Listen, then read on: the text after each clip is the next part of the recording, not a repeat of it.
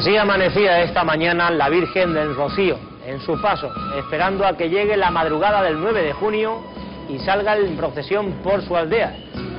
Las camaristas han estado trabajando con mimo durante toda la noche para que se vea así de espléndida.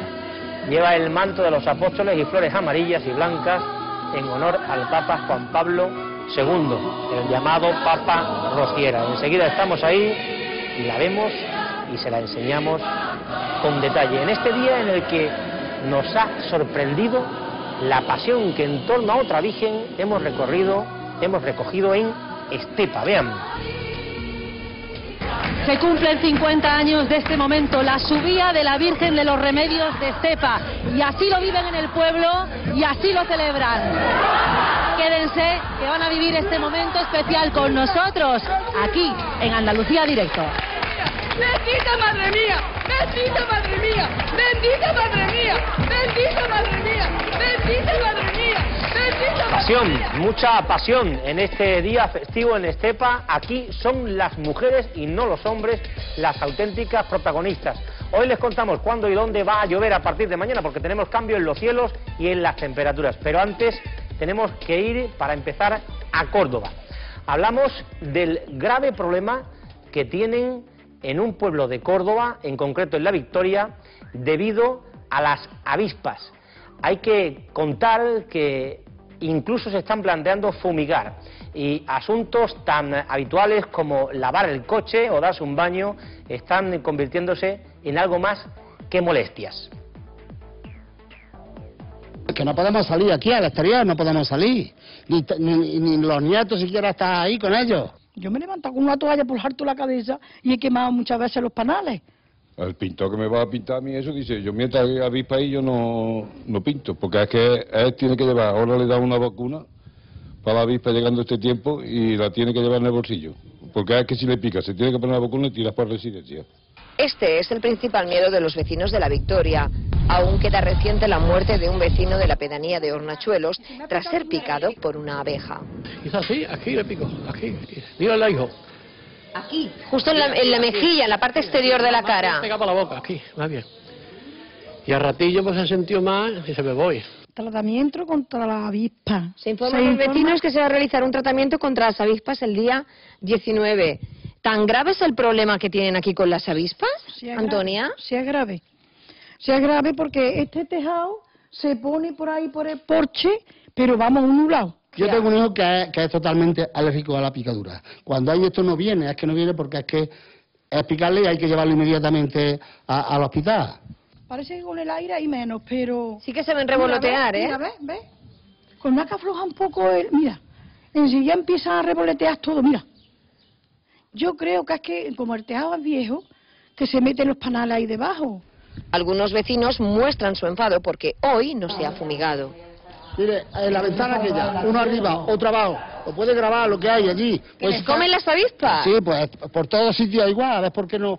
No sé, y además, si es que el ayuntamiento ha mandado que iban a fumigar hoy, ¿por qué no lo han hecho? Eso es lo que yo no entiendo. Que nos mandan un papel, que lo hemos firmado, que estamos de acuerdo, y ahora resulta de que estábamos trabajando en Córdoba, venimos y hemos quitado un perro que tengo ahí, lo tengo que llevar a casa de un hijo. Los paros, esconderlos, lo otro. Pero bueno, entonces, ¿esto qué forma es? ¿Qué, qué, qué formalidad hay aquí? La cercanía del campo, las altas temperaturas y la construcción de algunos tejados han facilitado la proliferación de estos insectos. Hombre, aquí se ponen más de 100 avispas eh, a la entrada. Cuando debe dar sol, eh, aquí no hay quien entre. Aquí ni se mete. Ya porque he hecho yo líquido de ese, en la raja esta, eso, ya porque yo cojo líquido eh, de ese para la avispa y de los botes esos de spray y le meto ahí los eso y ahí, cuando yo veo así, las mato. Los chiquillos no pueden salir. Hay niños pequeños y tienen Sí. miedo de que pueda producir la picadura alguna reacción Esta alérgica. señora tiene un niño con dos añitos, esta con seis. Ante la probabilidad de lluvias, a partir de mañana, el ayuntamiento ha aplazado la fumigación porque esta perdería efectividad. El caso es que la semana pasada aquí mismo informábamos de la muerte de un vecino de Córdoba después de que le picara una abeja en la cara. Por eso es importante saber qué hacer cuando nos pica una avispa o una abeja y sobre todo si somos alérgicos, Carmen Ramos nos va a sacar de dudas.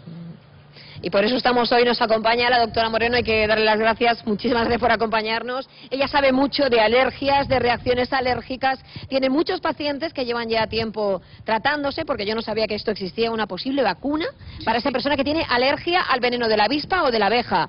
Atención, porque eso no se produce en una primera picadura que podamos recibir de este insecto. No, efectivamente, todos aquellos que estén pensando ahora nunca me ha picado una abeja, nunca ¿Qué me, me puede pasar? eh, efectivamente, a estos no les va a pasar nada, hace falta que hayan picado muchas veces abejas o avispas para tener alguna reacción alérgica. Esto que tengo en la mano, doctora, ¿qué es?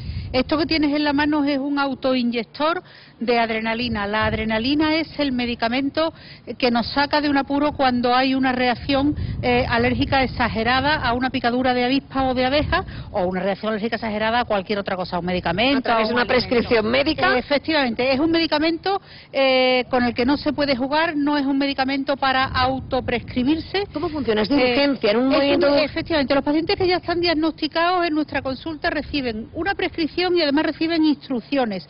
Esto es un dispositivo de, que, que contiene dentro la a, dosis... aguja sale por esta la parte que estamos necesaria viendo. de adrenalina, la aguja sale por esta parte que estamos viendo. Esto se compra en la farmacia con una receta, una prescripción médica y su uso es muy sencillo. Basta con sacar el tapón que viene por la parte trasera, hay que cogerlo con la mano dominante, la derecha en el caso de los diestros, y a la altura del muslo simplemente apretar. A través de la ropa. A través de la ropa, no es necesario quitarse la ropa. Esto rápido. atraviesa un pantalón vaquero, un mono de trabajo, por, mm, aunque sea un tejido fuerte, mantenerlo unos segundos y ya después separarlo. Con eso se ha, se ha utilizado ya, ha entrado el medicamento y nos ha hecho, nos ha hecho efecto y ahí ya lo que hay que hacer es acudir a un centro médico de urgencia, pero, pero con tranquilidad. Pero, lo importante ya está hecho y ya Doctora Moreno, podemos ¿me escucha? conservar la calma. Le escucho, le escucho. ¿Cómo sabemos cuándo es uno alérgico?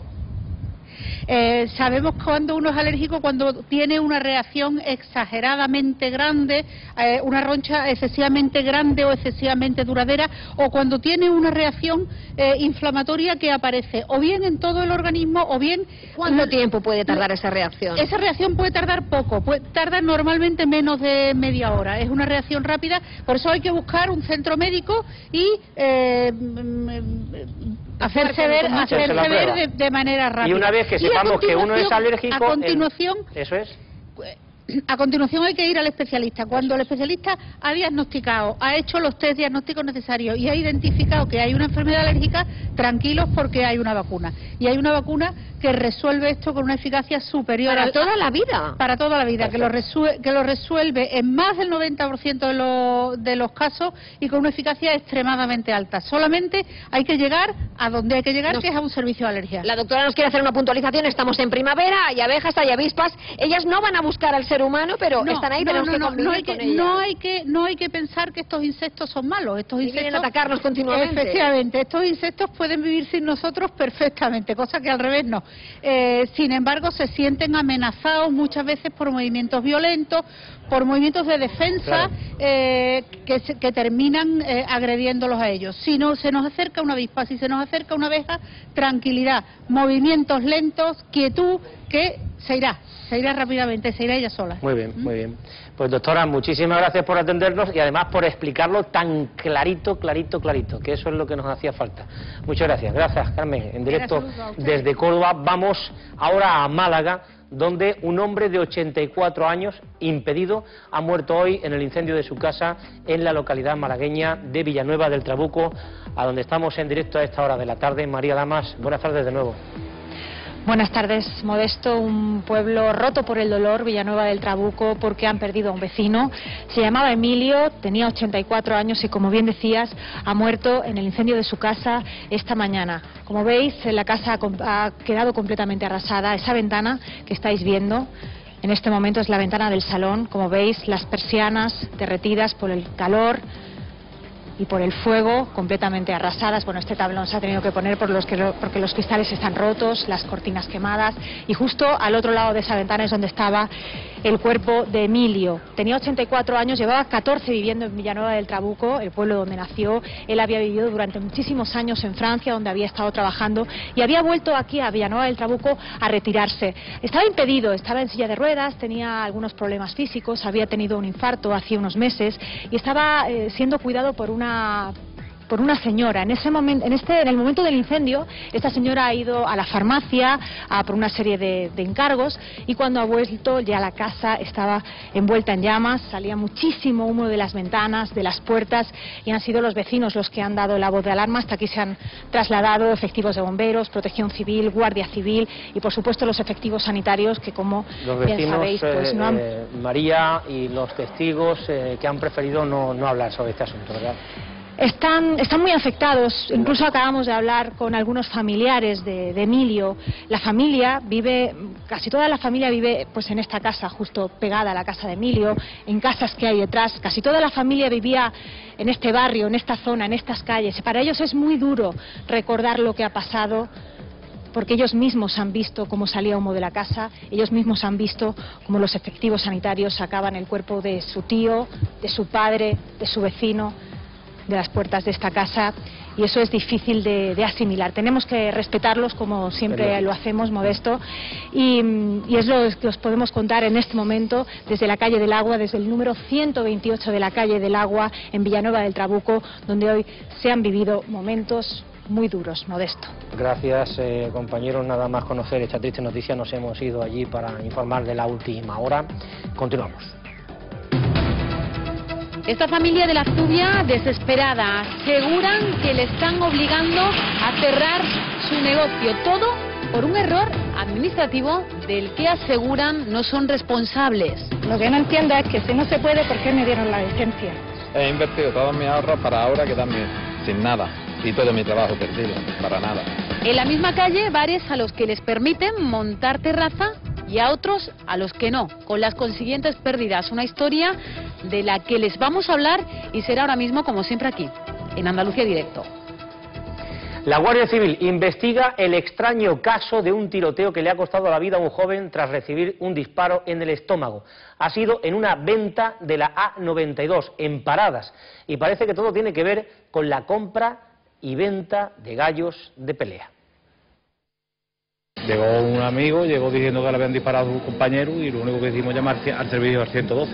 Es el relato de uno de los camareros de la venta donde el pasado sábado entraba un joven con herida de bala. Según algunos testigos, todo sucedía tras una venta de gallos ingleses en los aparcamientos del restaurante. Cuando el joven reclamó su dinero, llegó el problema. En este sitio fue tiroteado este chico de 33 años y vecino de la localidad de Utrera. Aquí se tuvo que taponar la herida de bala en el estómago y andar entre 40 y 50 metros para dirigirse y pedir ayuda, auxilio en el interior de este restaurante. Precisamente en él se encuentran en esa esquina dos cámaras que en estos mismos momentos está visionando la policía judicial. O lo que dicen ellos, que era tema de dinero, vamos, que no había, un impago ahí de ciertos pollos, no sé. Lo vi llegar ahí y todo con, el- con, un, con un coche al chaval, pero después yo me he enterado y están diciendo de que hacía asunto de unos pollos, de una venta de pollo, de unas apuestas que habías hecho. Realmente para nosotros ha sido un palo muy gordo, pa- sobre todo porque estamos en un sitio que pasa muchísima gente, mucha clientela y preguntan. Para hacer este reportaje, más de 10 personas han declinado hablar del asunto y de la compra y venta de gallos. Hemos intentado hablar eh, por teléfono con exportadores de gallos a diferentes partes del mundo y también con el presidente de esta federación, de la Federación Andaluza del Gallo Combatiente Español. Pero nadie nos quiere explicar de qué forma se compra y se vende gallos en España. Aunque está todo legislado, la compra y venta de gallos, nadie quiere hablar sobre el asunto públicamente. Aunque en Internet es muy fácil encontrar vendedores. Hemos llamado al primero de la lista. Hola, buenas tardes. Eh, mira, le pregunto por un gallo que he visto en internet que creo que vende usted, ¿no? Sí. Mira, eh, eh, mi pregunta es, ¿a qué precio tiene el gallo? A 250. 250. ¿Y tú nunca has dado una factura? Es decir, que nadie te ha pedido una factura antes, que... que, que, que... No, factura no. Factura no. Vale. ¿Cómo que la factura? Es que no sé, no. Vale, entonces el, gas- el gallo sería 250 euros. 250 euros. ¿Tú tendrías más gallos o solamente este? No, tengo más, tengo mucho más. Tiene mucho más. Venga, pues, pues muchas gracias, ¿eh? Venga, te cuento. Ahora. Hasta luego. Como se ve... Como se ve en esta grabación, habitualmente, pues las facturas en los que se publican en Internet, pues no existe, no existió o no existirá. Pero son 250 euros lo que cuesta un gallo. Según hemos comprobado, la compra y venta de gallos es muy corriente en nuestro país. Lo sucedido el sábado es algo inusual. Se encuentra en secreto de sumario, aunque con muchos testigos. Está acusado de asesinar al inquilino que dejó de pagarle precisamente el alquiler y desde hoy se le juzga por ello. La vista oral es con jurado popular en Almería. Mar Gutiérrez, ¿qué pena pide el fiscal para este hombre? Pues de momento 26 años de prisión porque como tú dices ha arrancado esta mañana en la Audiencia Provincial de Almería la vista oral contra este hombre acusado de matar a su inquilino.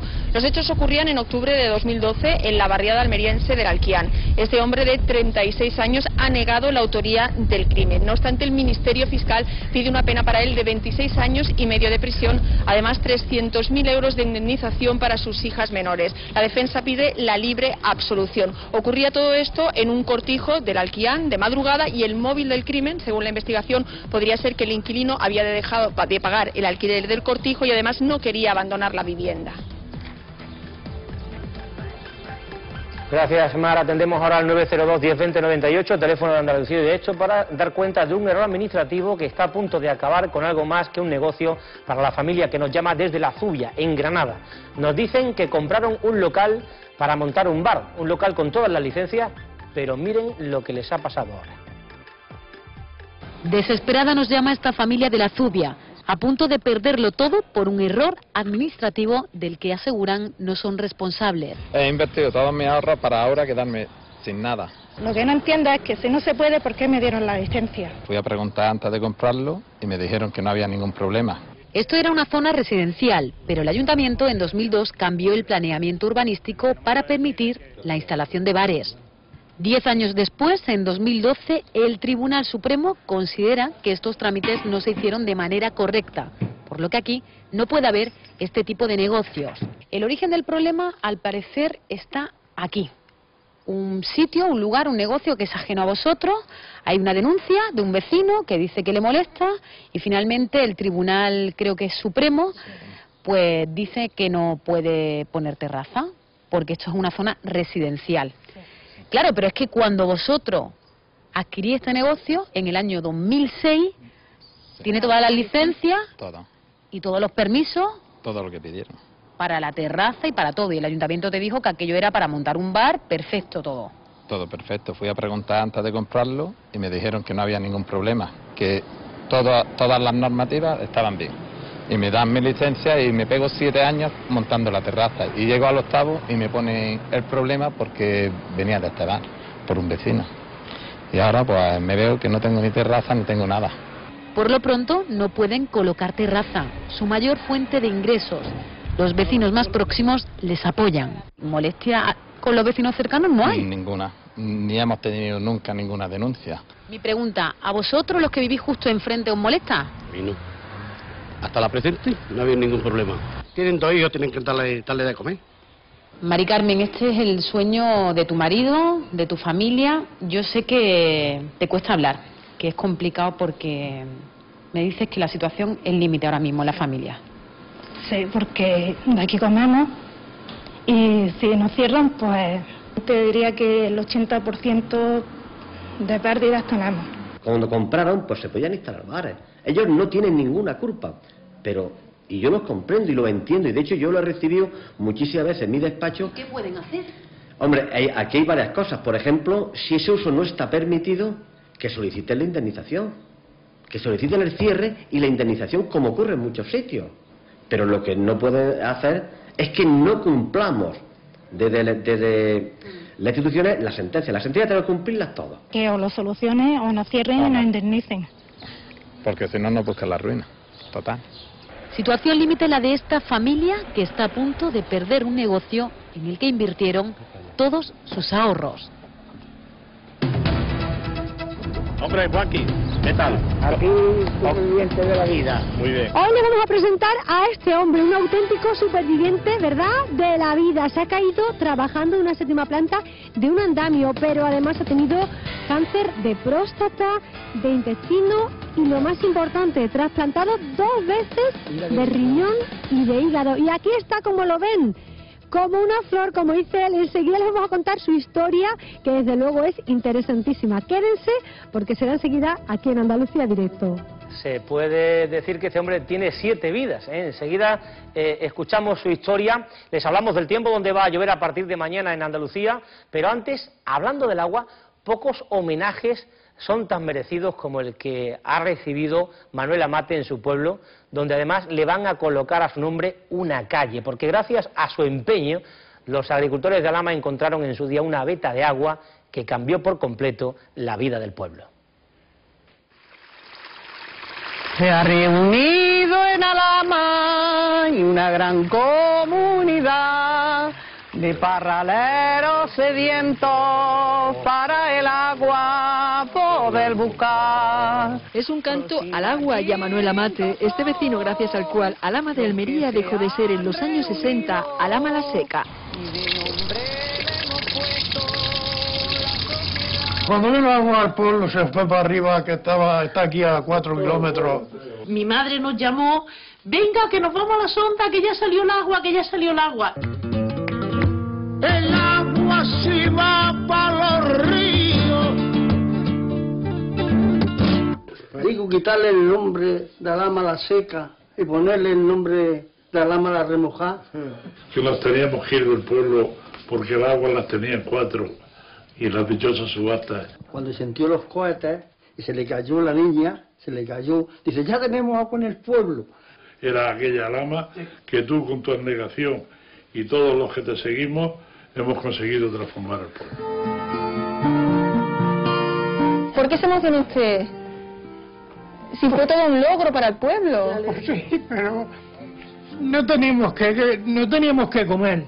Y, y- y- y teníamos que ir un chorrico de agua como el puño, que no salía agua siquiera.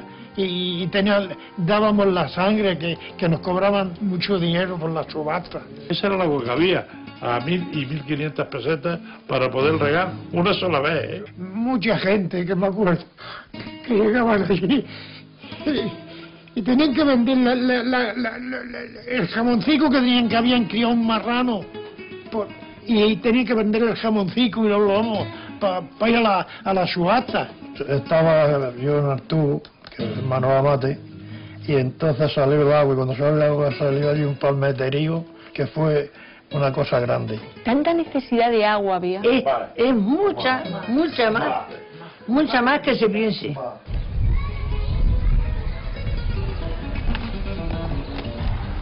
Calle Manuel Amate Rodríguez, como presidente honorario de los decididos. Manuel, tan importante es su papel en el pueblo que le han puesto sus vecinos una calle. ¿Cómo se siente al tener una calle en su pueblo? Orgulloso, muy orgulloso. ¿Se lo agradece a su pueblo? Bueno, con todo el corazón del mundo, se lo agradezco. Y Alama ya no eres seca. Desde que gracias a Manuel y a la Sociedad de los Decididos se acabara en el 69 con la sequía en Alama, sus vecinos brindan con agua. Mujeres y hombres también. Por Manolo y para que nunca falte el agua en el ama. La importancia del agua, la Para ellos importancia es del el agua. bien más preciado del mundo. Desde luego que sí. Bueno, llegan las lluvias, aunque donde más se necesitan por ahora habrá que esperar, porque en la parte oriental sufrimos en muchos sitios la peor sequía desde hace 150 años según la EMET. El nivel de los pantanos no es preocupante y por el este lo contrario ha llovido mucho incluso con superávit. Este es el mapa previsto para mañana, veamos provincia a provincia. Almería, buenas tardes de nuevo, Mar. Buenas tardes, pues nosotros con sequía, ¿eh? la verdad que la situación ya empieza a ser grave. Ojalá hubiera mucha gente como Manolo, como el que hemos visto en el reportaje, se Pues sí. encontrara agua en Almería, que falta nos hace. Porque de momento mañana vamos a tener intervalos de nubes, pero van a ser nubes altas que apenas van a dejar precipitaciones. Han llovido cuatro gotas ayer, pero vamos, prácticamente nada y mañana pues se prevé que lo mismo. El viento sí que nos va a acompañar, nos sigue acompañando, no tan fuerte, no hay aviso amarillo, pero será fuerte en la zona del litoral, en las zonas altas de montaña y sobre todo en la zona de Cabo de Gata. Las temperaturas bajan, se ha notado mucho este fin de semana, ya vamos con manguita y vamos a tener en torno a 25 grados de máxima, 17 de mínima y en definitiva esperando a ver si llueve algo porque la cosa la verdad que está bastante complicada. ¿eh? En Almería está claro que no. ¿En Cádiz, Lorena, para mañana? Pues para mañana es muy probable que caiga alguna que otra gota, desde luego el tiempo modesto como ha cambiado esta semana, nada que ver con hace justamente una semana. Mañana, intervalos nubosos que como te digo pueden dejar incluso alguna precipitación.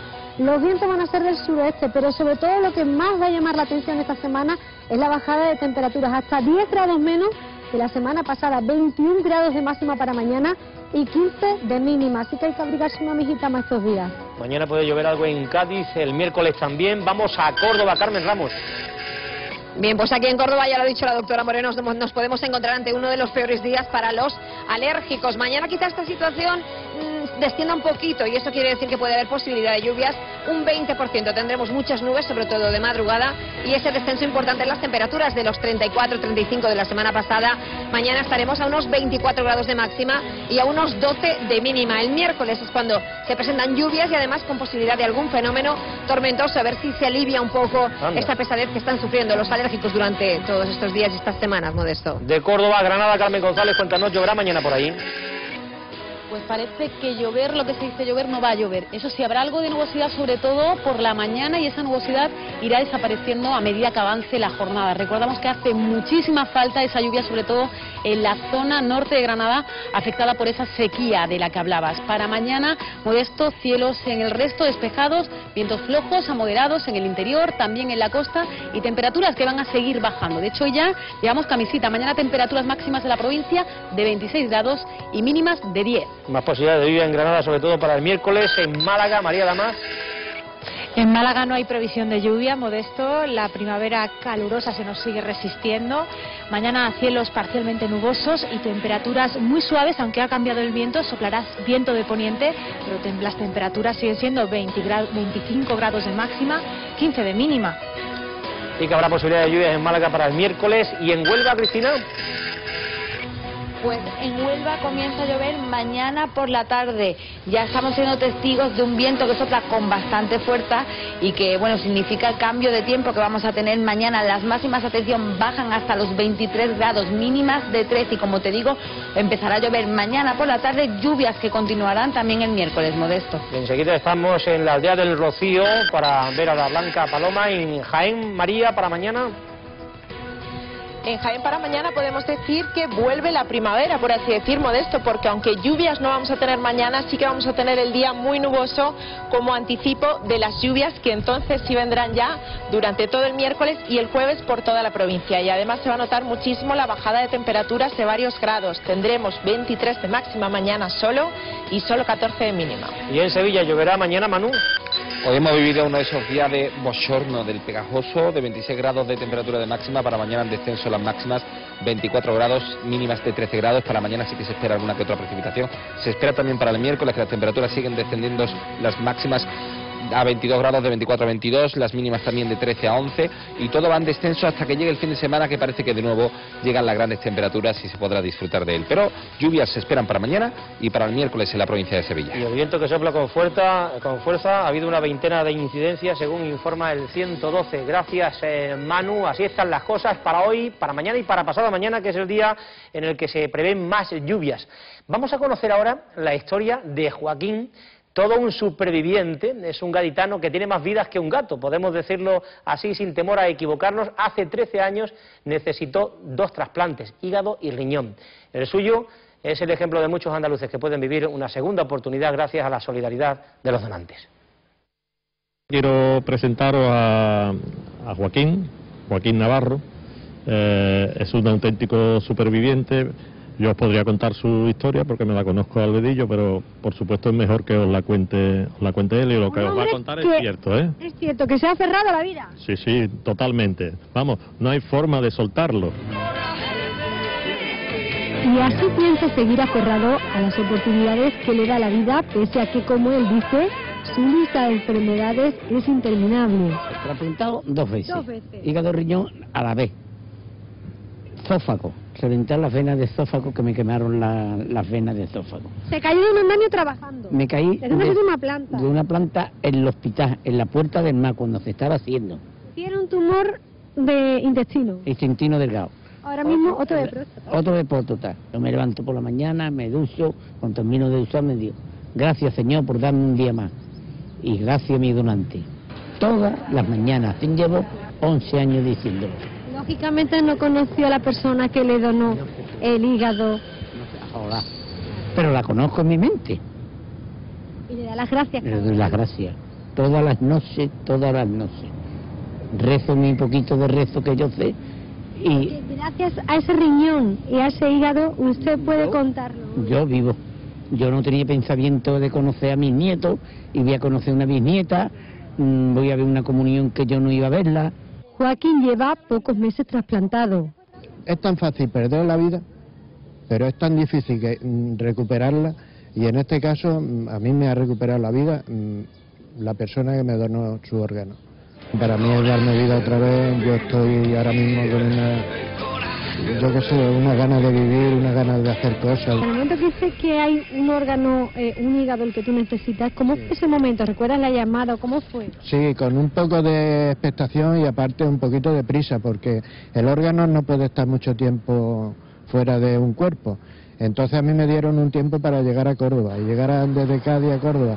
Tuve que llevar- llamar a un cuñado mío para ¿Cuánto, cuánto tiempo te dan? ¿Cuánto tiempo? unas cuatro o cinco horas como mucho. Esto es una cuestión que puede afectar a cualquiera en cualquier momento.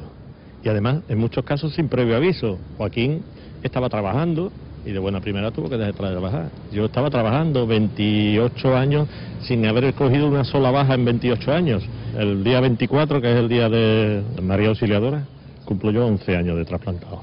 Gracias al gesto de solidaridad de Anónimos, hoy pueden celebrar un nuevo cumpleaños. Se cumplen 50 años de este momento, la subida de la Virgen de los Remedios de Estepa. Y así lo viven en el pueblo y así lo celebran. Quédense que van a vivir este momento especial con nosotros, aquí en Andalucía Directo. ¡Bendita madre mía! ¡Bendita madre mía! ¡Bendita madre mía! ¡Bendita! Pasión, mucha pasión la que hemos recogido hoy por parte de las mujeres de Estepa. Enseguida lo compartimos con todos ustedes, pero antes, en plena cosecha del limón, hemos ido a una finca de Pizarra en Málaga, donde se recolectan este año un millón de kilos de magníficos limones. La pela es todo, todo limón. Juan da los últimos consejos a sus agricultores que en plena temporada del limón trabajan con intensidad en esta finca del condado, en Pizarra. Empezamos a recolectar limón berna, que es este. Este, este limón, ¿qué característica tiene? Hombre, característica que tiene mucho zumo, es limón duro. ¿eh? Y para exportación aguanta mucho, más que el fino. El limón tiene tres cosechas. Limón del tiempo, limón retardío y el limón El tardío. redrojo que se coge en agosto. Es el de agosto, Este no se tiene Este- que coger hoy. Este, este no, no, no, este se tiene que poner también ya amarillo. ¿Cuántos kilos de limones podéis llegar a recolectar en esta finca en la temporada? Pues en, to- en total, entre limón fino y limón berna, un millón de kilos. Cada agricultor recolecta a diario unos mil kilos. Hay que darle un poquito de, de rabito. De eh, rabito. de rabito. Y se lo coge así, de esta forma, pues no lleva rabito y, y aguanta menos. Si tú ves, mira, el limón está sano, mira, completamente. ¿eh? Si estuviera enfermo, pues saldría mancha. ¿eh? Sí, así se sabe que el limón está bueno, que esté muy muy amarillito. Amarillito, ¿eh? Mira. Y esto zumo es gloria bendita. Esto, es- esto es gloria, mira. Y para convertir estos limones recién recolectados en el plato más refrescante del verano, aterrizamos en una artesana heladería de la zona. Pues estamos exprimiendo los limones para darle el toque de limón natural, que solamente se lo da con limón natural. No hay, aquí no hay polvos, no hay, no hay química, sabores artificiales. Nada, aquí solamente el sabor puro del limón. El siguiente proceso es mezclar el agua con los azúcares. Ahí tenemos el azúcar. Y a batir. Ahora se pasteuriza el agua y el azúcar y por separado se añade el zumo de limón natural. ¿Tú dónde has aprendido a hacer un helado artesano? Pues yo estuve en Italia haciendo un curso en una escuela italiana y me vine y llevo, esta es mi cuarta temporada de, de heladería. Y unos minutos después, helado listo. Este es el helado ya acabado con, con todo el sabor de limón, aunque no tenga color es porque el limón es natural y no lleva colorante. Yo lo puedo probar, ¿me dejas que lo pruebe aquí? Hombre, pues me encantado de que lo pruebe. Un privilegio, helado recién hecho, que voy a probar con esta cucharita, con permiso de, del heladero. Mm, una maravilla. Riquísimo y fresco. Ya lo saben, ahora que empieza a apretar el calor, ¿a que les apetece uno de estos? Y uno de estos también me apetece. ¡Ay, que nos han hecho en Huetor! ¡Qué maravilla! Los espárragos. Teníamos una cita ahí pendiente y esto empieza a cundir. Carmen. Bueno, la verdad que tarde de espárragos no podía ser en otro sitio que en Huetortájar. Y con Julián Modesto, aquí que nos sigue este joven cocinero de la tierra todas las tardes. Vaya, todas las tardes. Qué bien, muchas gracias. Vaya detalle, ¿eh? Vaya detalle. Vaya detalle. Quería enseñarles su espárrago a toda, a toda Andalucía y aquí lo tenemos. Bueno, queremos demostrarle a toda la gente que nos está viendo que algo más que el espárrago a la plancha, el espárrago aquí lo podemos consumir de mil maneras. ¿Qué tenemos aquí? De mil maneras. Tenemos el espárrago a la plancha y el espárrago en tempura. Y aquí tenemos el brie de caldereta de cordero con espárrago triguero de, de Huetortaja. Bueno, qué barbaridad. Vi de caldereta de cordero con espárrago de Huetortájar. ¿Cómo está eso? Buenísimo. Buenísimo, de verdad, ¿no? De verdad, pero de verdad. ¿Y esos esparraguillos por ahí? Está muy rico. A la hora de la merienda sienta Está muy bien. muy bien, muy bien, muy bien, ¿no? Bueno, también tenemos por aquí, en la otra mesa, otro granaíno de la zona que defienden a muerte su producto, porque tiene que ser así. ¿Qué estamos comiendo? A ver, ¿qué tenemos ahí? Arroz con espárrago triguero de Huetortaja, conejo de campo y zeta. Toma ya. Temporada. De campo, totalmente. Mira la cara de alegría que tiene ella, ¿eh? aprobando. Dice Modesto que tiene una cara de alegría. Díselo, díselo. ¿Cómo está? ¿Cómo está? Está muy bueno, muy bueno. Invita a Modesto, que le hemos dicho antes, a que vengan a probarlo. Y a probarlo, está muy bien. Con lo que a mí me gusta ese plato. Bueno, Modesto, es que hablamos de, de un producto, esto tenemos aquí, es una lasaña de espárrago, Lasaña temprana de espárrago. que no solo está delicioso, David, aquí en este restaurante, en Oh. Cortijo de Tájar, que siempre nos atienden genial, sino que da trabajo a muchísima gente. A mucha, mucha gente. No solo en el campo, también en la hostelería. En la hostelería, en la restauración. El espárrago es un producto que, que va con cualquier receta. Además tiene unas propiedades diuréticas mm, muy buenas, muy altas y, y un gran- Muchísima fibra. mucha fibra y un Nos gran ayuda a ir al baño, Sí. a quitarnos los líquidos esos que nos sobran de cara al verano y que está riquísimo. Y David, a mí lo que más me sorprende de todo y que jamás pensaba, yo me voy a ir a tomar asiento aquí porque esto yo no me lo pierdo, es que podemos hacer, ven por aquí Julián, postre hasta de espárrago. ¿Y ¿Esto qué es? Da un bizcocho roto de, de espárrago y una espuma de amaretto. ¿Y ¿Esto qué hago? ¿Lo rompo para, para probarlo? Y luego no, no se ver. va a poder comer. Bueno, yo empiezo con el postre. Celia, mientras tanto, va a probar unas croquetas de espárrago. A ver, a ver, yo quiero, voy. Tiene que soltar. Con la mano ocupada, a ver. el micro. A ver. Ahí está. Mm, mm, Uy, ¡Qué rico, por favor! Pero es que me sabe mejor, Celia, dile a Modesto cuánta gente, cuánto porcentaje de población vive aquí de esto que tenemos en la mesa. ¿Cuánta gente? Aproximadamente un 60% de la población. El 60% de las familias de la zona. Y además lo que tenemos que decir que todo esto que vemos aquí, este espárrago de Huetor, tiene un indicador geográfico protegido que está reconocido mundialmente, que tiene propiedades únicas en el mundo. Y lo tenemos en Andalucía y en Granada. Así que chicos, a comer espárrago y que les aproveche, ¿eh? Yo sigo con el postre, Modesto. Vamos, Celia, a ver la croqueta. los dientes largos. Ahí está. Gracias, eh, Hueto gracias, gracias. La verdad es que nos ha encantado estar ahí. Hacía tiempo que queríamos volver para probar algo de lo que más nos gusta, esos espárragos con denominación específica. Arte, tiene mucho arte también eh, lo que van a ver eh, a continuación desde Jerez, desde luego Lorena. Esta chica demuestra que el arte no tiene edad, ¿eh? La que ha liado esta niña en la No feria de Jerez. tiene edad, no tiene edad ni frontera, porque además el baile de esta pequeña, de Rocío, ha dado la vuelta a todo el mundo con su arte que tiene, cantando, bailando bulería. Mira, mira, mira cómo canta. Que me iba de verte. Cuánto tiempo sin saber nada de ti. Bueno, la están escuchando cantar. Van a verla bailar ahora. Van a verla bailar. Con una grabación que está recorriendo internet. y las redes sociales.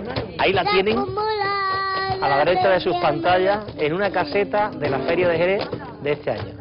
No vean ustedes la que lea la niña, ¿eh? La vamos a ver inmediatamente aquí en Andalucía Directo. Volvemos en unos minutos.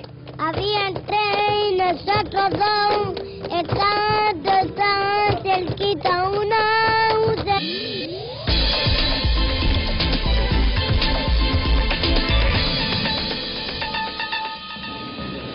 Así amanecía esta mañana la Virgen del Rocío, en su paso, esperando a que llegue la madrugada del 9 de junio y salga en procesión por su aldea. Las camaristas han estado trabajando con mismo durante toda la noche para que se vea de esta guisa. Lleva el manto de los apóstoles y flores amarillas y blancas en honor al llamado Papa Rociero, Juan Pablo II. Enseguida estamos ahí y en Estepa para compartir un día de pasión. Yo vengo de mi bisabuela, de mi abuela, de mi tía, de mi madre, que todos le chillaban como yo le chillo. Yo no puedo hablar. No me emociono, no puedo hablar. ¡Bendita madre mía! ¡Bendita madre mía de los remedios! ¡Bendita madre mía de los remedios! Aquí son las mujeres las protagonistas, emocionante subida de la Virgen de los Remedios en Estepa, hoy de fiesta local. Son solo las mujeres las que llevan a la patrona en 12 ocasiones, desde delante del altar hasta la plaza de la Iglesia de los Remedios. Una tradición que cumple ya medio siglo. Enseguida estamos ahí y compartimos una fiesta que continúa en Jerez. Ahí la tienen. El arte no tiene edad, y más si se lleva en la sangre y en los genes. Una niña jerezana de cuatro años, Rocío, asombra a quien la ve bailando por bulería. La ha liado este año en las ferias del caballo y todo el mundo habla de ella. Mira.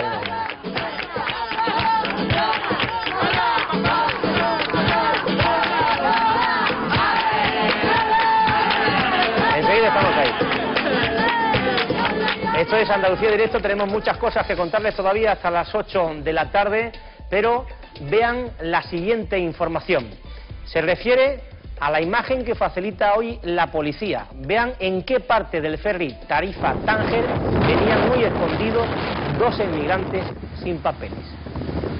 Aquí en los bajos de la embarcación es donde se encontraban los polizones ocultos en el compartimento de los motores del patín derecho con la intención de tirarse luego al agua, lógicamente, y nadar hasta la orilla para salvar la valla perimetral del puesto fronterizo marítimo de Tarifa y así acceder al territorio nacional. Desgraciadamente ya no podemos decir que nos sorprende porque hemos visto casi de todo eh, en este asunto, ¿verdad? Lorena, cuéntanos. Pues sí, la verdad es que la imagen es sorprendente. Afortunadamente tenemos que decir que los dos inmigrantes se encuentran bien, sanos y salvos. Pero veis en esas imágenes, estos dos inmigrantes querían entrar de manera ilegal en España de una manera, pues desde luego, muy complicada. Iban metidos los dos en el motor, tú lo decías, de ese ferry, un ferry que venía de Tánger. Dos jóvenes de 29 y 31 años que además cuando la Policía Nacional los interceptó, iban los dos sin documentación. Decir además que eh, la intención de ellos era, bueno, iban ocultos, agazapados en ese motor del ferry, tenían intención de saltar e ir nadando hasta la costa. Finalmente la Policía Nacional, como decimos, los ha interceptado y afortunadamente están bien. Gracias, eh, Lorena. En Jaén ha comenzado hoy el juicio a un hombre acusado del asesinato de su mujer en octubre del 2012. Es el conocido como crimen de la enfermera. Era la salida del acusado tras la primera jornada del juicio por la muerte de su mujer. Entre aplausos y muestras de cariño de amigos y familiares del matrimonio, abandonaba la audiencia provincial. Los dos son, vamos, eran íntimos amigos nuestros, Jesús ahora y Antonia, desgraciadamente fallecida. No podemos decir nada más que bueno que eran muy buenos amigos nuestros. Jesús sigue siéndolo y lo va a seguir siendo porque estamos seguros de su inocencia. Por eso mismo, desde el primer momento, este ha sido uno de los casos más complejos que ha vivido la ciudad de Jaén, ya que parte del propio entorno de la fallecida ha apoyado en todo momento al acusado y, de hecho, su familia no se ha personado como acusación particular. Sin embargo, en el juicio sí ejerce la acusación popular el Instituto Andaluz de la Mujer, que considera que este es un caso de violencia de género por el que solicita 18 años de prisión, al igual que la Fiscalía. Por su parte, la defensa pide la libre absolución del acusado. Para esclarecer qué es lo que pasó realmente para que el día 9 de octubre de 2012 se encontrara el cuerpo sin vida de la mujer del acusado en el domicilio que ambos compartían, la clave es ahora determinar la hora de la muerte, un extremo en el que no se ponen de acuerdo los forenses de la Fiscalía y los contratados por la defensa, y que podría suponer la culpabilidad o absolución del acusado al tener o no coartada. Las otras opciones posibles al asesinato alevoso que sostiene la Fiscalía serían un suicidio o los efectos derivados del consumo continuado de Propofol, un potente ansiolítico, tal y como sostiene la defensa. Mañana, a partir de las 10 de la mañana, se reanudará el juicio. Es la primera imagen del rocío que todos los devotos desean ver. Preciosa, me da un- una cosa que, que, que no puedo resistirla. Está pa- para el día salir ya, está muy bonita. Que alguien le ha traído vestida de flamenca jugando al rocío.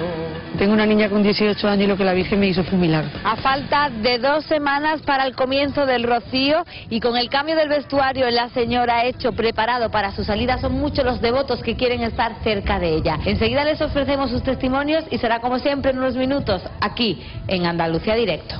Y ya falta menos para que volvamos a ver esos momentos cargados de pasión y de emoción que no tienen parangón en casi ningún sitio de Andalucía, o eso es lo que creíamos hasta el momento, después de haber grabado esta mañana la subida de la Virgen de los Remedios en Estepa. Vean. ¡Bendita madre mía! ¡Bendita! ¡Bendita madre mía! ¡Bendita! ¡Bendita madre mía! ¡Viva la Virgen de los Remedios! ¡Viva! Yo vengo de mi bisabuela, de mi abuela, de mi tía, de mi madre, que todos le chillaban como yo le chillo. Yo no puedo hablar. Yo me emociono, no puedo hablar. Es muy grande para usted un día como hoy, con mucho sentimiento. Mucho, mucho, porque me acuerdo mucho de todo ello. Es un día importante aquí. su nieta también. Mi nieta es mi tía. A toda la familia, estáis todas, esto es una tradición. Lo lleva, hay que, hay que vivirlo. De la iglesia los remedios, ya suena el seminario de la iglesia. ¡Bendita madre mía! ¡Bendita madre mía de los remedios! ¡Bendita madre mía de los remedios! ¡Bendita madre mía de los remedios!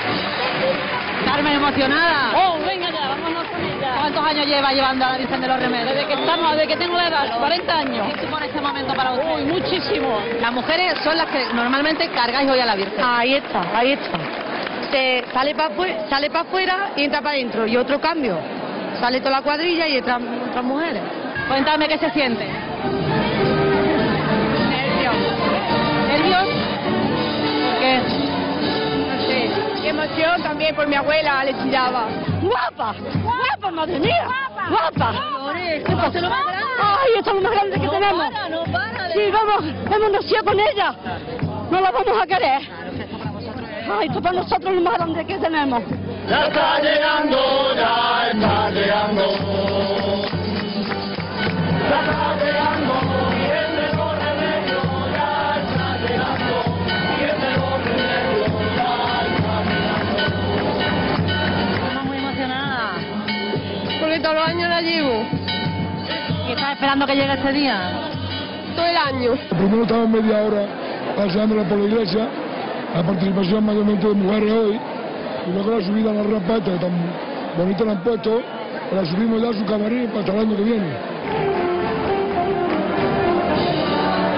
Ya la tiene. Ya la tengo. Bendita sea, madre mía. Que la pueda mover muchos años. Esto es lo más grande que tenemos. Para ustedes contarme ahora mismo qué siente difícil. No, eso no se puede explicar lo que se siente. Eso es de mucha generación. Muchos años. De mis padres, de muy antiguo. También. Yo la he llevado ya. La he visto que estaba muy, muy emocionada. Muy emocionado. Es que ha tenido un hito celebrar y entonces nos tiramos en Sevilla cinco meses y esto de la Virgen para ella es, esto es ya lo máximo. Un poquito, un poquito más con nosotros, un poquito más. Se acabó. Ahora, ya Ahora la preparan y la suben para arriba, ya hasta el año que viene. La sensación que se siente cuando llega este momento de que se va a producir la subida es algo increíble. Es decir, la carne se te pone de gallina, el vello se te pone de punta. ¡Viva la Virgen de los Remedios! Ya sube, ¿no? Ahora ya se inicia la subida lentamente, 50 años de estos momentos. Entonces esto es para nosotros lo más grande que hay ahora mismo.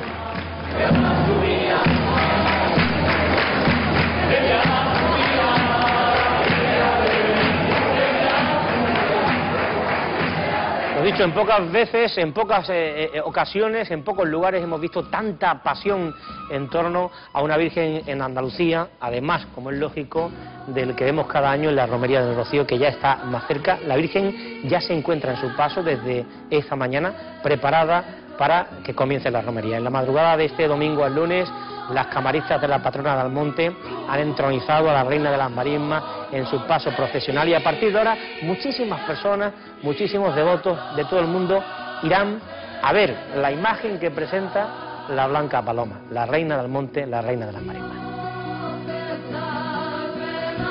Preciosa, me da un- una cosa que, que, que no puedo resistirla.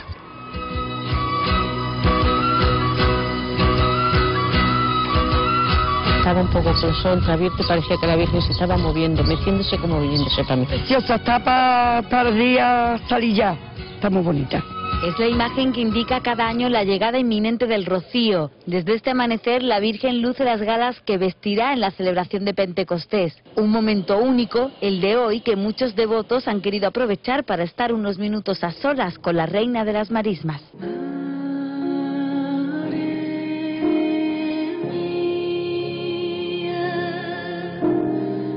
Tengo mucha fe, he venido a darle las gracias. Operaron a mi hermana.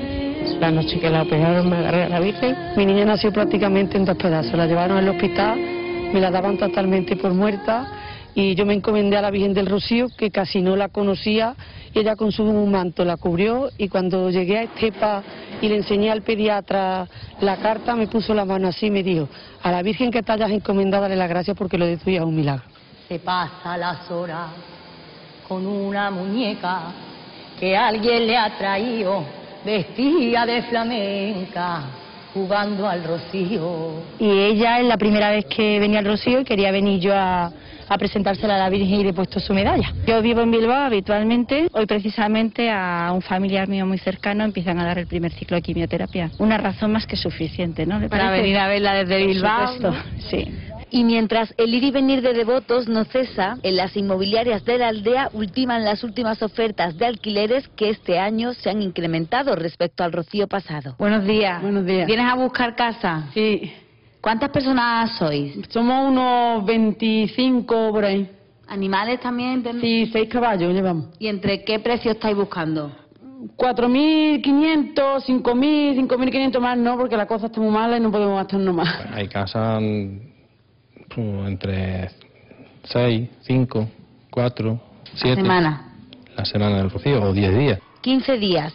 Es el tiempo que falta para que esta imagen de la señora deleite a los miles de visitantes que cada año llegan al rocío.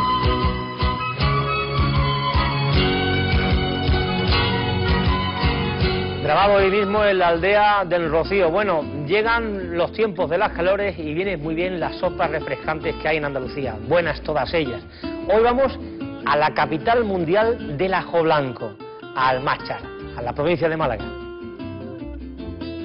Supongo que viene usted del campo, caballero. El campo eso, ¿eh? Un poquito de ajo blanco. Para refrescarse un poco. Parece que le está gustando, ¿no? Sí, el aguante está muy bueno, de aquí de mi pueblo. Hombre, que dicen que para refrescar en esta época del año es maravilloso. Cuando el sol aprieta, Almáchar se convierte en la capital mundial del ajo blanco. Amalia, ya estamos con las almendras, ¿no? Aquí estamos partiéndola para hacer un poquito de ajo blanco, fresquito, Hombre. que hace mucha calor. ¿Aquí es donde empieza el proceso? Aquí, partiéndola y ahora ya nos vamos hacia adentro y ya empezamos a prepararlo. Tenemos las almendras que las hemos partido. Aquí las hemos pelado. La almendra la hemos transformado en esto, harina. en esta harina, ¿no? Sí, sí. Un poquito de sal. el ajo Su ajito. y empezamos a moler con un poquito de agua. Venga, vamos a empezar. Cuando ya llega la calor, en casi todas las casas te encuentras tú que hay ajo blanco. Y ahora empezamos ya a agregarle el aceite. Aceite. Ahí están haciendo la masa ya. Dicen que llegó un ingeniero pidiendo agua a un lagar con mucha calor. Y le ofrecieron un vasito de ajo blanco. Y de entonces dice que aquel hombre ya cogió la receta y desde entonces has hecho ya más, más popular. Así serían masas. Porque hay dos formas de comerlo, ¿no? Hay dos veces comerlo. Esta ahora te lo juntan en el pan. Así también la gente se lo comen con, un- con jamón. Ponen jamón y un poquito de esto. Mm, qué bueno.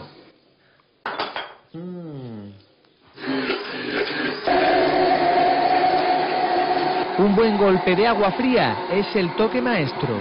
Ya está listo. Y nadie mejor que los vecinos de Almachar para catarlo. Está muy bien hecho. Está muy bien hecho. La ha hecho una vecina de Almachar. Está rico. Está rico. Y en los veranos en el campo se arreglaba.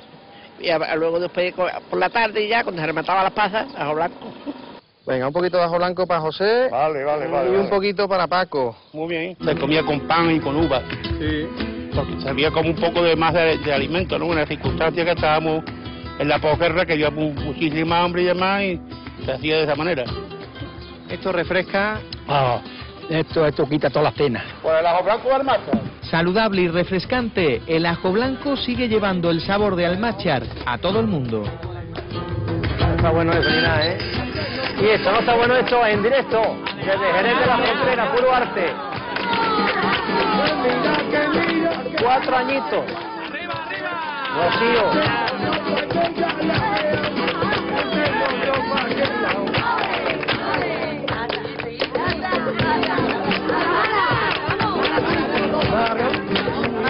No me digas tú a mí modesto que esto no es para comérsela, pero, pero fijaros, fijaros, ponte aquí que te vea, aquí, aquí, aquí que te vea, mira, mira, ahí, ahí, mira, ole,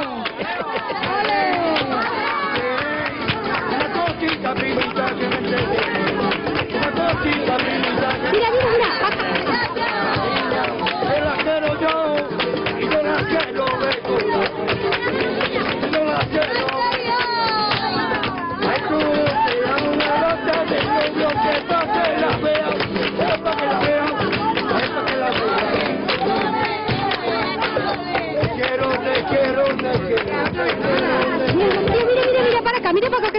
ve. A ver cómo haces tú con tu falda, cómo haces tú con la falda. Mira, Modesto, mira, mira.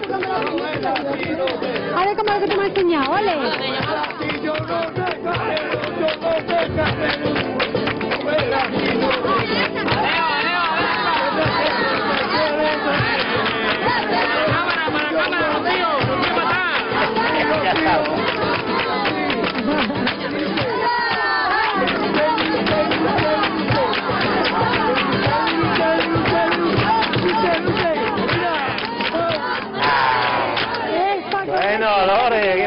maravilla. ¿Ese que es el abuelo? Cuatro, cua- el tío, el tío, El tío. cuatro años. Ven, ven, a ver Estamos en la, en la puerta de la frutería de la familia. de la frutería de sus padres y me ha hecho Rocío que a ella le gusta, a ti que te gusta, cantar y... No, cantando. Ah, can- ¿Cómo que cantar? No te me ha dicho cantar y bailar, está un poquito cortadita.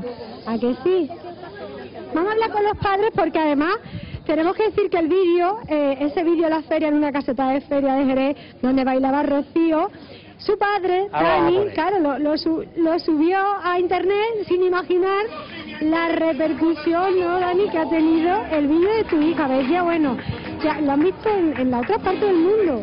La verdad que lo ha visto bastante gente, ¿no? Lo subí en- con ánimo de esto de fa- familiar y los amigos y al final pues, empezó a compartir, a compartir. En dos días, ¿cuántas visitas? En dos días tuvieron cerca de 600 co- eh, para compartir, después cerca de mil y pico me gusta y, y mucha gente solicitud, vamos, para ver el vídeo. Esto, oye, ¿la madre dónde está? La madre aquí, mira qué guapa, qué joven. La madre de la criatura, que tiene dos más. Esto no se aprende, esto es, se nace, tuyo, tuyo. Y lo mama de ahí. Y ella cada vez que ve una huerguecita, pues se arranca, se arranca Bueno. a bailar y a cantar y, y me molesto. Lorena, ¿y hay precedentes en la familia? ¿Es familia flamenca, familia cantadora, bailadora o es el único? No, te lo, te lo va a decir, Eh. la familia. Pues de esto, mira, eh, el, tío- el hermano de mi madre era el Guisa de Ere, ¿no? Que había actuado con mucha gente importante, ¿no? Además participó en la película. Y la, y la película de Los Tarantos los Montoya y yo creo que algo hay ahí. ¿no? Algo queda. Ah, que algo queda que la niña actúa también, ha bailado con, con Capullo de Jerez, decía. Sí, ha bailado con Capullo de Jerez, la- ha bailado con gente con, con la Dolores de Agujeta, gente de aquí fuerte de, de Jerez y, y tenemos dos o tres cositas, ahora me han llamado también de Telecinco y esto, esto que estamos viendo de internet, eh, ¿se grabó en qué caseta? la verdad es que no lo sé de esto. eh, En una caseta la fecha, casetas en, la que- en una- de ellas, porque tú... Ellos están acostumbrados además, que es que claro, nosotros lo vemos y nos llama la atención, pero vosotros lo veis a diario. Bueno, yo la veo todos los días. En mi casa están todos los días, todos los días están bailando, cantando y la verdad que no me sorprende por eso, ¿no? Y estamos rodeados de la familia a la puerta de la frutería del padre y de la madre. Bueno, a ver si la vemos bailar un poquito más. Vamos a bailar, venga. ¡Ole! Es la hermana, ¿eh? Es la hermana, fíjate. es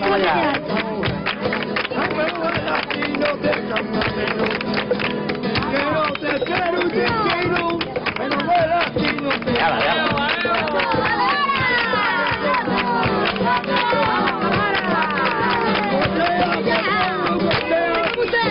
Vea, vámonos a comérnoslo todo ahora, señores. Hasta mañana.